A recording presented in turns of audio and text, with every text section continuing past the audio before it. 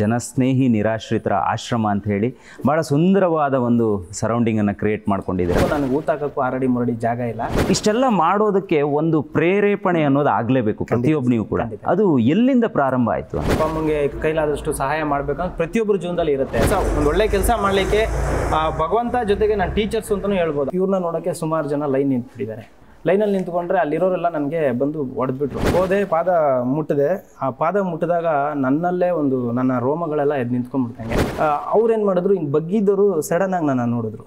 ನಾನು ಅವ್ರನ್ನ ನೋಡಿದೆ. ನೋಡಿದ ತಕ್ಷಣ ಅವ್ರಿಗೂ ಏನು ಅನಿಸ್ತೋ ಗೊತ್ತಿಲ್ಲ ನನಗೇನು ಅನಿಸ್ತೋ ಗೊತ್ತಿಲ್ಲ. ಬಟ್ ನನಗೆ ಇವತ್ತು ಅದ್ರ ಅನುಭವ ಆಗ್ತಾ ಇದೆ. ಅವ್ರ ಆಶೀರ್ವಾದ ಅವತ್ತೇ ನನಗೆ ಮಾಡಿ ಕಳಿಸಿದ್ರು ಅಂತ. ಸಬ್ಸ್ಕ್ರೈಬ್ ಮಾಡಿ ಪ್ಲೀಸ್ ಹಾಯ್ ಹಲೋ ನಮಸ್ಕಾರ ವೀಕ್ಷಕರೇ. ನಾನು ಸಂದೀಪ್ ಶೆಟ್ಟಿ ಹೆಗ್ಗದ್ದೆ ಇದು ಹೆಗ್ಗದ್ದೆ ಸ್ಟುಡಿಯೋ. ಜನರ ಸೇವೆಯನ್ನು ಮಾಡೋದು ಅಷ್ಟೊಂದು ಸುಲಭದ ಕೆಲಸ ಅಲ್ಲ. ಅದಕ್ಕೆ ಒಂದು ಆತ್ಮಸ್ಥೈರ್ಯ ಇರಬೇಕು ಇನ್ನೊಂದು ಧೈರ್ಯ ಕೂಡ ಇರಬೇಕು. ಜೊತೆಗೆ ಆ ಒಂದು ಮನಸ್ಸು ಕೂಡ ಇರಬೇಕು. ಸೊ ಅಂತಹದೇ ವಿಭಿನ್ನವಾದ ಕೆಲಸದಿಂದ ಅನೇಕ ಜನರಿಗೆ ಸಹಾಯ ಮಾಡಿರುವಂತಹ ಅನೇಕ ಜನರ ಸೇವೆಯನ್ನು ಮಾಡಿರುವಂತಹ ಜನಸ್ನೇಹಿ ಯೋಗೀಶ್ ಅವರನ್ನು ಇವತ್ತಿನ ನನ್ನ ಕಾರ್ಯಕ್ರಮದಲ್ಲಿ ಕೂರಿಸ್ಕೊಂಡಿದ್ದೀನಿ. ನಿಮ್ಮೆಲ್ಲರ ಪರವಾಗಿ ಇವತ್ತಿನ ಕಾರ್ಯಕ್ರಮಕ್ಕೆ ಅವರಿಗೆ ಆತ್ಮೀಯವಾದ ಸ್ವಾಗತವನ್ನು ಕೋರ್ತಾ ಇದ್ದೀನಿ. ಸರ್ ಕಾರ್ಯಕ್ರಮ ಸ್ವಾಗತ. ಹಾಂ. ಹೇಗಿದ್ದೀರಾ ಸರ್? ಚೆನ್ನಾಗಿದೆ ಸರ್. ನೀವು ಹೇಗಿದ್ದೀರಾ? ನಾವು ಚೆನ್ನಾಗಿದ್ದೀವಿ ಸರ್. Thank you. ಬಹಳನೇ ಖುಷಿ ಆಯಿತು ಇವತ್ತು ನಾವು ನಿಮ್ಮ ಆಶ್ರಮಕ್ಕೆ ಬಂದಿದ್ದೀವಿ. ಜನಸ್ನೇಹಿ ನಿರಾಶ್ರಿತರ ಆಶ್ರಮ ಅಂತ ಹೇಳಿ ಭಾಳ ಸುಂದರವಾದ ಒಂದು ಸರೌಂಡಿಂಗನ್ನು ಕ್ರಿಯೇಟ್ ಮಾಡ್ಕೊಂಡಿದ್ದೀರಾ. ಇಲ್ಲಿ ಸಾಕಷ್ಟು ಜನರಿಗೆ ನೀವು ನೆರವಿನ ಹಸ್ತವನ್ನು ಚಾಚ್ತಾ ಇದ್ದೀರಾ. ಜೊತೆಗೆ ಒಂದಿಷ್ಟು ಜನರ ಸೇವೆಯನ್ನು ಕೂಡ ನೀವು ಮಾಡ್ತಾ ಇದ್ದೀರಾ. ಸೊ ಇಷ್ಟೆಲ್ಲ ಮಾಡೋದಕ್ಕೆ ಒಂದು ಪ್ರೇರೇಪಣೆ ಅನ್ನೋದು ಆಗಲೇಬೇಕು ನೀವು ಕೂಡ. ಅದು ಎಲ್ಲಿಂದ ಪ್ರಾರಂಭ ಆಯಿತು ಅಂತ? ಸರ್ ಎಲ್ಲರ ಲೈಫಲ್ಲೂ ಕಷ್ಟ ದಿನಗಳು ಬಂದಿರುತ್ತೆ. ನಂದು ಸ್ಪೆಷಲ್ ಅಂತ ಏನಿಲ್ಲ. ಓಕೆ ಸೊ ಪ್ರತಿಯೊಬ್ಬರು ಜೀವನದಲ್ಲೂ ಸಾಧನೆ ಮಾಡಬೇಕು. ಏನಾದರೂ ನಮ್ಮ ಅಪ್ಪ ಅಮ್ಮನ ಚೆನ್ನಾಗಿ ನೋಡ್ಕೊಬೇಕು ಅಟ್ಲೀಸ್ಟು ನಮ್ಮ ಅಪ್ಪ ಅಮ್ಮಂಗೆ ಕೈಲಾದಷ್ಟು ಸಹಾಯ ಮಾಡಬೇಕು ಅಂತ ಪ್ರತಿಯೊಬ್ಬರ ಜೀವನದಲ್ಲಿ ಇರುತ್ತೆ. ನನ್ನ ಜೀವನದಲ್ಲಿ ಕೂಡ ಆ ಥರದ ದಿನಗಳನ್ನ ನಾನು ನೋಡ್ತಾ ಇದ್ದೆ. ಸೊ ಶಾಲೆಗೆ ಹೋಗ್ಬೇಕಾದ್ರೆ ನಮ್ಮ ಮನೆಗಳಲ್ಲೂ ಕೂಡ ಇವತ್ತಿಗೂ ಈ ಪ್ರೆಸೆಂಟ್ ಇವತ್ತಿನ ಪರಿಸ್ಥಿತಿ ನಾನು ಹೇಳ್ತಾ ಇದ್ದೀನಿ. ಇವತ್ತಿಗೂ ನನಗೆ ಊಟ ಹಾಕಕ್ಕೂ ಆರಡಿ ಮುರಡಿ ಜಾಗ ಇಲ್ಲ. ಸೊ ನಮ್ಮ ಮನೆಯಲ್ಲಿ ನಮ್ಮ ತಂದೆಯವರು ಅಷ್ಟೇ ತುಂಬಾ ಕಡು ಬಡತದಿಂದ ಬಂದಂತವ್ರು ಇರೋದಕ್ಕೆ ಸರಿಯಾದ ಮನೆಗಳಿರ್ಲಿಲ್ಲ. ನಮ್ಮಪ್ಪ ಎಲ್ಲ ಒಂದ್ ಕಡೆ ಕೂಲಿ ಮಾಡಿ ಅವತ್ ಸಂಜೆ ಊಟ ತಂದ್ರೆ ಊಟ ಊಟ ಸಿಕ್ತಿತ್ತು ಇಲ್ಲಾಂದ್ರೆ ಯಾರ್ದಾರ ಮನೆ ಕೆಲ್ಸಕ್ಕೆ ಹೋಗಿ ತಂದ್ರೆ ಊಟ. ಇಲ್ಲಾಂದ್ರೆ ಅದು ಕೂಡ ಇಲ್ಲ.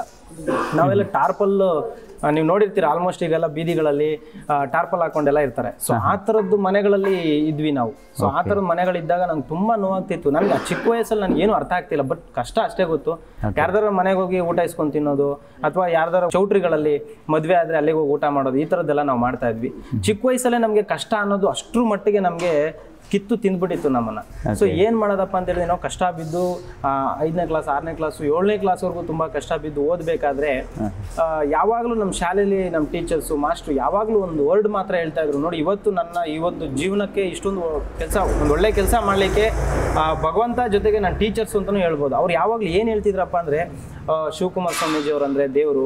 ಶಿವಕುಮಾರ್ ಸ್ವಾಮೀಜಿ ಅವ್ರನ್ನ ನೀವು ನೋಡಿದಿರಾ ಶಿವಕುಮಾರ್ ಸ್ವಾಮೀಜಿ ಅವರು ಲಕ್ಷಾಂತರ ಜನಕ್ಕೆ ವಿದ್ಯಾದಾನ ಮಾಡ್ತಿದ್ದಾರೆ. ಶಿವಕುಮಾರ್ ಸ್ವಾಮೀಜಿ ಅವರು ನಮ್ಮ ಜಗತ್ತಿಗೆ ದೇವ್ರಿದ್ದಂಗೆ ಅಂತೆಲ್ಲ ಹೇಳ್ತಿದ್ರು ನಾನು ದೇವ್ರ? ಹೇಗಿರ್ಬೋದು ದೇವ್ರು? ಇವ್ರು ಏನ್ ಇಷ್ಟೊಂದು ಹೇಳ್ತಾರಲ್ಲ ಹಂಗಾದ್ರೆ ದೇವ್ರು ಇರ್ಬೋದು ಭೂಮಿ ಮೇಲೆ ಇದ್ದಾರೆ ಮೋಸ್ಟ್ಲಿ ಅಂದ್ರೆ ನನ್ನ ಚಿಕ್ಕ ಏಜ್ ಅದು. ಸೊ ಆ ಏಜ್ ಅಲ್ಲಿ ನನಗೇನು ಗೊತ್ತಾಗುತ್ತೆ? ಅವ್ರು ಹೇಳಿದ್ನೇ ಸತ್ಯ ಅಂತ ನಾನು ಭಾವಿಸ್ತಾ ಇದ್ದೆ. ಹೆಂಗ್ ಮಾಡೋದು? ಇದು ಅಟ್ಲೀಸ್ಟ್ ದೇವ್ರನ್ನ ನೋಡ್ಬೇಕಲ್ಲ ನಾನು ಹೋಗಿ. ಹೆಂಗ್ ಮಾಡೋದಂತ ಗೊತ್ತಿಲ್ಲ ಸರ್. ಐದನೇ ಆರನೇ ಕ್ಲಾಸ್ ಏಳನೇ ಕ್ಲಾಸ್ ಇರುವಾಗ್ಲೇನೆ ನಾನು ಇವ್ರನ್ನ ನೋಡ್ಬೇಕಂತ ನಿರ್ಧಾರ ಮಾಡ್ಬಿಟ್ಟಿದೆ ಹೆಂಗ್ ಹೋಗ್ಬೇಕು ಗೊತ್ತಿಲ್ಲ. ಬಟ್ ಆದ್ರೆ ಅಪ್ಪನ ಹತ್ರ ಇದ್ದಿದ್ದು ಒಂದು ರೂಪಾಯಿ ಎರಡು ರೂಪಾಯಿ ಆ ಎಲ್ಲ ಕೂಡಿಟ್ಟಿದ್ದು ಒಂದು ಐದಾರು ರೂಪಾಯಿ ದುಡ್ಡನ್ನ ತಗೊಂಡು ಬಸ್ ಹತ್ಕೊಂಡು ಸೀದಾ ನಾನು ತುಮಕೂರಿಗೆ ಬಂದ್ಬಿಟ್ಟೆ. ತುಮಕೂರು ಬಂದು ಅಂದ್ರೆ ನೀವು ಹುಟ್ಟಿ ಬೆಳೆದಿದ್ದೆಲ್ಲ? ಚಿಡೆಮಾಯ್ಸಂದ್ರ ತುರುವೇಕೆರೆ ಹತ್ರ ಆನಡ್ಗು ಆನಾಡ್ಗು ಗ್ರಾಮ ಅಂತ ನನ್ನ ಹುಟ್ಟೂರು. ಸೊ ಆ ಒಂದು ಪುಟ್ಟ ಹಳ್ಳಿ ಇವತ್ತಿಗೂ ನಮ್ಮ ಊರಿಗೆ ಬಸ್ ಇಲ್ಲ. ಕರೆಂಟ್ ಇಲ್ಲ. ತುಂಬಾ ಕಷ್ಟ. ನಾವು ಓದಿರೋದೇ ಒಂದು ಏಳನೇ ಕ್ಲಾಸ್ ಓದಿದ್ದೀನಿ ಅಂದ್ರೆ ಅದೇ ಒಂದು ಮಿರಾಕಲ್ ನನಗೆ. ಏಳನೇ ಕ್ಲಾಸಿಗೆ ನೀವು ನಿಮ್ಮ ಎಜುಕೇಶನ್ ಸ್ಟಾಪ್ ಮಾಡ್ತೀರಾ ಅನ್ನೋದನ್ನ ನಾನು ಕೇಳ್ಪಟ್ಟೆ. ಅದಕ್ಕಿಂತ ಮುಂದೆ ನೀವು ಓದೋಕ್ಕಾಗಿಲ್ವಾ ಓದಕ್ ಆಗಿಲ್ಲ ಅಂದ್ರೆ ನಮ್ಮ ತಂದೆ ಏನೋ ಕಷ್ಟ ಬಿದ್ದು ಓದಿಸ್ತೀನಿ ಓದಪ್ಪ ಅಂತೆಲ್ಲ ಹೇಳ್ತಾ ಇದ್ರು. ಬಟ್ ಏನ್ ಮಾಡ್ತೀರಾ? ಬಡಸ್ತಾನ ಅನ್ನೋದು ನಮ್ಗೆ ಅಷ್ಟ್ರ ಮಟ್ಟಿಗೆ ಕಿತ್ತು ತಿಂತಾ ಇತ್ತು. ಊಟಕ್ಕೂ ಕಷ್ಟ. ನಾನು ಅನ್ಕೊಂಡಿದ್ದೆ ನನ್ನ ನಮ್ಮ ತಂದೆ ತಾಯಿಗೆ ಏನು ಕಷ್ಟ ಕೊಡಬಾರ್ದು. ಅಟ್ಲೀಸ್ಟ್ ನಾನೇನಾದ್ರೂ ಕೆಲಸ ಮಾಡಿ ಅವ್ರನ್ನ ಸಾಕ್ಬೇಕು ಅಂತ. ತಲೆಲಿತ್ತು ಸೊ ಹಂಗಾಗಿ ನಾನು ಅಲ್ಲಿಗೆ ಡ್ರಾಪ್ ಔಟ್ ಅದ್ರ ಮೇಲೆ ನನ್ಗೆ ಓದಕ್ಕೆ ಆಸಕ್ತಿನೇ ಇಲ್ಲ. ಶಾಲೆಗೆ ಹೋದ್ರು ನಾನು ಸಿಕ್ಕಾಪಟ್ಟೆ ತರಲೆ ಸರ್ ಎಷ್ಟು ತರಲೆ ಅಂದ್ರೆ ನನ್ಗೆ ಟೀಚರ್ಸ್ ಅಂತೂ ಸಖತ್ತಾಗಿ ಬೈಯೋರು. ನನ್ನ ಲಾಸ್ಟ್ ಬೆಂಚಲ್ಲಿ ಕೂರ್ಸೋರು ನನ್ನ. ಅಷ್ಟು ತರಲೆ. ಎಲ್ರಿಗೂ ಅಷ್ಟು ಕೀಟ್ಲೆ ಮಾಡ್ತಿದ್ದೆ ನಾನು. ಅಷ್ಟು ಹಿಂಸೆ ಕೊಡ್ತಿದ್ದೆ ಅವ್ರಿಗೆ. ಸ್ಕೂಲಲ್ಲೂ ಸರಿಯಾಗಿ ನಾನು ಅವರು ಹೇಳಿದ್ನ ಕೇಳ್ತಾ ಇರಲಿಲ್ಲ. ಅಷ್ಟು ತುಂಟ ನಾನು. ಸೊ ಹಂಗಾಗಿ ನಾನು ಏನು ಮಾಡಿದೆ ಮನೇಲಿ ಇದ್ದಂತ ಒಂದು ಐದಾರು ರೂಪಾಯಿ ದುಡ್ಡನ್ನ ಎತ್ಕೊಂಡು ಶಿವಕುಮಾರ್ ಸ್ವಾಮೀಜಿ ಅವ್ರನ್ನ ತುಮಕೂರಿಗೆ ಬಂದೆ ತುಮಕೂರಿಗೆ ಬಂದೆ. ಓಕೆ ತುಮಕೂರಿಗೆ ಬಂದ್ರೆ ಏನಾಯ್ತು ಅಲ್ಲಿ ಮಠದ ಹತ್ರ ಹೋಗ್ಬೇಕು ನನಗೆ ಮಠ ಗೊತ್ತಿಲ್ಲ. ಸೊ ಮಠನ ಎಲ್ಲರೂ ಅಲ್ಲಿ ಅಲ್ಲಿ ಯಾರೋ ಕೇಳಿದೆ ಸರ್ ಈ ಥರ ಮಠ ಇದೆಯಲ್ಲ ಅಂತ. ಅವ್ರೇನ್ ಅನ್ಕೊಂಡ್ಬಿಟ್ರು ಸ್ಕೂಲಿಂದ ತಪ್ಪಿಸ್ಕೊಂಡ್ ಬಂದ್ಬಿಟ್ಟು ಹುಡುಗ ಅಂತ. ಅಂದ್ರೆ ಅಲ್ಲಿ ಮಠದ ಹುಡುಗ ತಪ್ಪಿಸ್ಕೊಂಡ್ ಬಂದ್ಬಿಟ್ಟಿರ್ತಾನೆ ಅಂತ. ಪಾಪ ಯಾರೋ ಹಿಂಗೆ ಹೇಳಿದ್ರು ಇಲ್ಲಿ ಮಠ ಇದೆ ಹೋಗಪ್ಪ ಅಂತ ಹೇಳಿ. ಮಠದ ಹತ್ರ ಹೋಗಿ ನಿಂತ್ಕೊಳ್ತೀನಿ. ಇವ್- ಇವ್ರನ್ನ ನೋಡೋಕ್ಕೆ ಸುಮಾರು ಜನ ಲೈನ್ ನಿಂತ್ಬಿಟ್ಟಿದ್ದಾರೆ. ಓಕೆ. ಲೈನ್ ನಿಂತಿದ್ದಾರೆ ನಾನು ಇವ್ರನ್ನ ನೋಡ್ಬೇಕಂತ ಆಸೆ. ಆಮೇಲೆ ಕೇಳಿದೆ ಅಲ್ಲಿ ಗುರುಗಳು ಅಲ್ಲಿದ್ದಾರೆ ಹೋಗಿ ಅಂತ. ಸರಿ ಆಯ್ತು ಅಂತ ಅಲ್ಲಿ ಹೋಗಿ ಲೈನಲ್ಲಿ ನಿಂತ್ಕೊಂಡೆ. ಲೈನಲ್ಲಿ ನಿಂತ್ಕೊಂಡ್ರೆ ಅಲ್ಲಿರೋರೆಲ್ಲ ನನಗೆ ಬಂದು ಹೊಡೆದ್ಬಿಟ್ರು ಅಂದ್ರೆ ಆ ಮಠದಲ್ಲಿ ಓದೋಂಥ ವಿದ್ಯಾರ್ಥಿಗಳೇನು ಮಾಡ್ತಾರೆ? ಹೋಗಿ ಲೈನಲ್ಲಿ ನಿಂತ್ಕೊಳ್ಳೋದು ಅದೆಲ್ಲ ಮಾಡ್ತಾರೆ. ಸೊ ತುಂಬಾ ಜನ ವಿದ್ಯಾರ್ಥಿಗಳು ಇರೋದ್ರಿಂದ ಆವಾಗ ನನ್ನನ್ನು ಏನು ಅನ್ಕೊಂಡ್ರೆ ಅಲ್ಲಿ ಓದುತ್ತಾ ಇರೋ ವಿದ್ಯಾರ್ಥಿ ನಾನು. ಆ ಹುಡುಗ ಬಂದಿದ್ದಾನೆ ಅನ್ನೋ ತರ ನನ್ನನ್ನ ಕಳಿಸ್ಬಿಟ್ರು. ನನ್ನ ಅಲ್ಲಿ ಹೋಗಕ್ಕೆ ಬಿಟ್ಟಿಲ್ಲ ತುಂಬ ಬೇಜಾರಾಯಿತು. ಸಂಜೆವರೆಗೂ ನಾನು ಅಲ್ಲಿದ್ದೆ. ಸಂಜೆ ಆದಮೇಲೆ ನನಗೆ ಇಲ್ಲ ಮನೆಗೆ ಹೋಗೋಣ ಅನಿಸ್ತು. ಮತ್ತೆ ನಾನು ವಾಪಸ್ ಮನೆಗೆ ಬಂದೆ.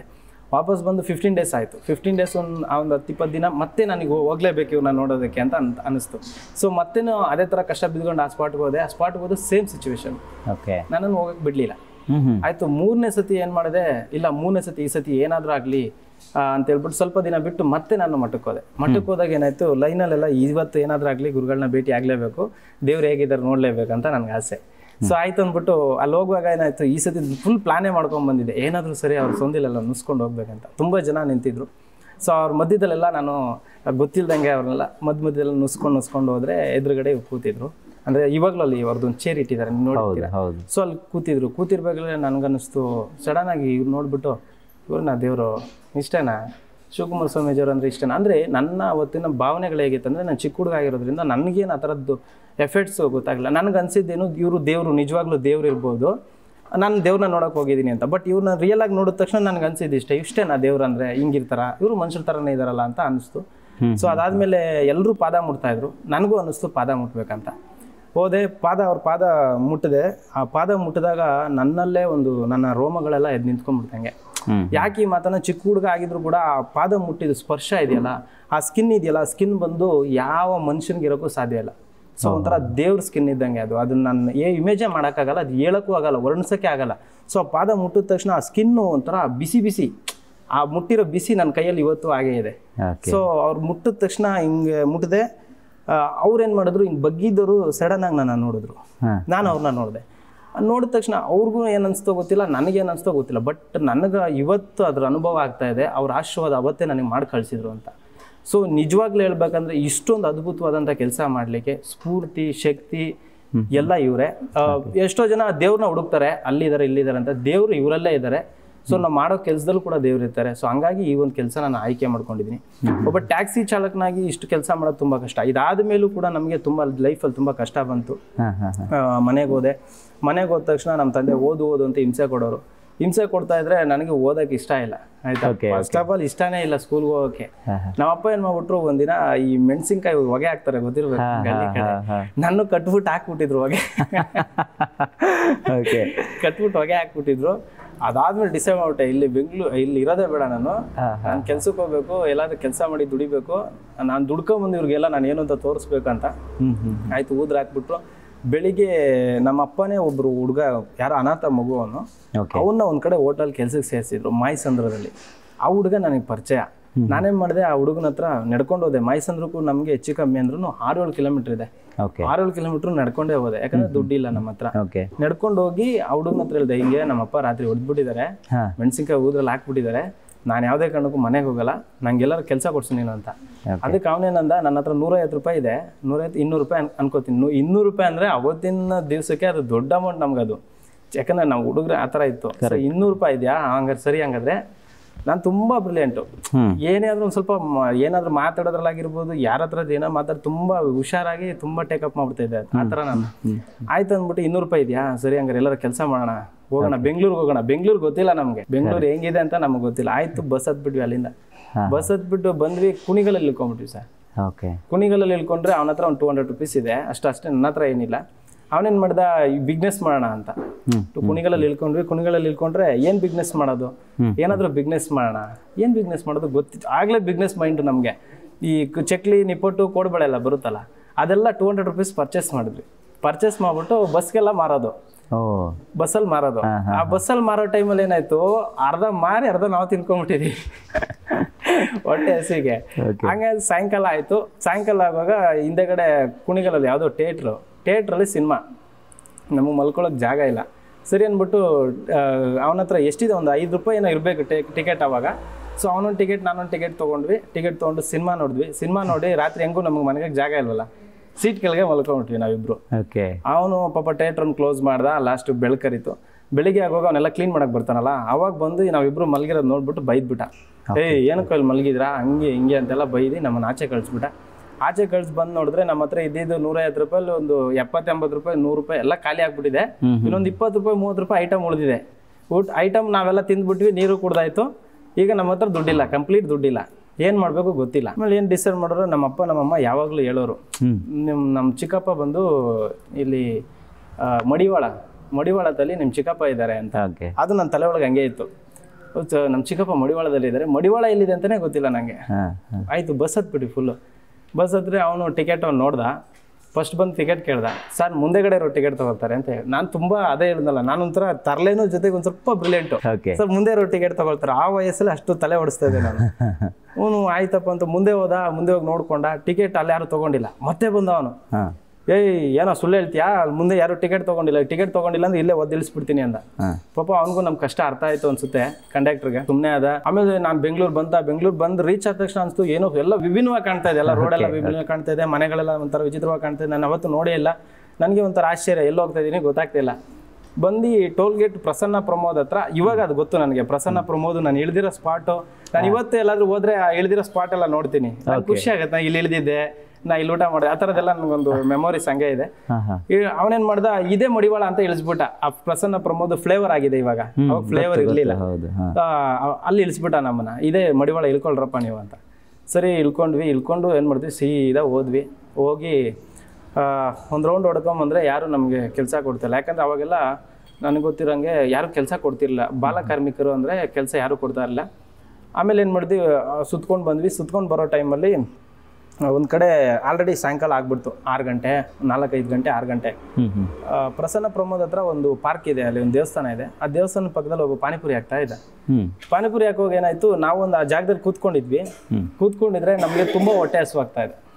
ತುಂಬಾ. ಓಕೆ ತುಂಬಾ ಹೊಟ್ಟೆ ಹಸು ಬಂದ್ರೆ ಅದು ಆ ಹಸುನ ಹೇಳೋಕೆ ಆಗಲ್ಲ.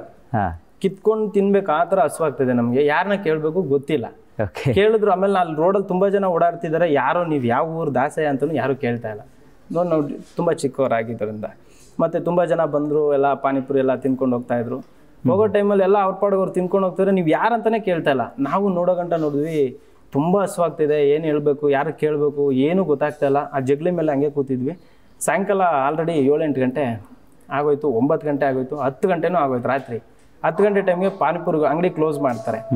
ಕ್ಲೋಸ್ ಮಾಡೋ ಟೈಮಲ್ಲಿ ಅವ್ರು ಅವ್ನು ಪಾನಿಪುರಿ ಮಾಡೋನಿಗೆ ಸ್ವಲ್ಪ ಡೌಟ್ ಫಸ್ಟಿಂದ ನಮ್ಮನ್ನು ನೋಡ್ತಾ ಇದ್ದ ಅವ್ನು ಅಬ್ಸರ್ವ್ ಮಾಡ್ತಾ ಇದ್ದ ಅವ್ನು ಆದ್ರೆ ಕೇಳಿಲ್ಲ. ಹತ್ತು ಗಂಟೆ ಆದ್ಮೇಲೆ ಅವ್ನಿಗೆ ಡೌಟ್ ಬಂತು. ಪುಟ ಬಾರ ಇಲ್ಲಿ ಯಾವ ಊರು ನಿಮ್ದು ಅಣ್ಣ ಜಡೆ ಮೈಸಂದ್ರ ನಮ್ದು ಜಗ್ಗೇಶ್ವರ ಊರು.